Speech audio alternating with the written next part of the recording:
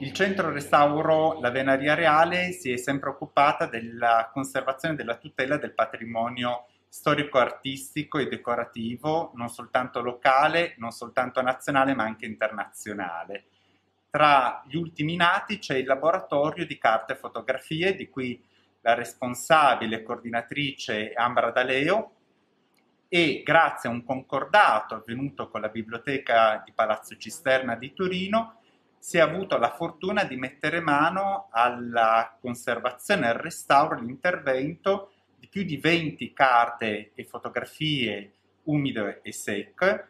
di pregiatissimo livello e qualità eh, artistica eh, di straordinario interesse che grazie al laboratorio verranno completamente recuperati. Un intervento che vedrà protagonista la didattica in modo tale che eh, gli iscritti e le generazioni eh, recenti di restauratori possano eh, confrontarsi con materiale non necessariamente eh, così conosciuto, come l'importanza invece di, delle carte dipinte e delle fotografie storiche.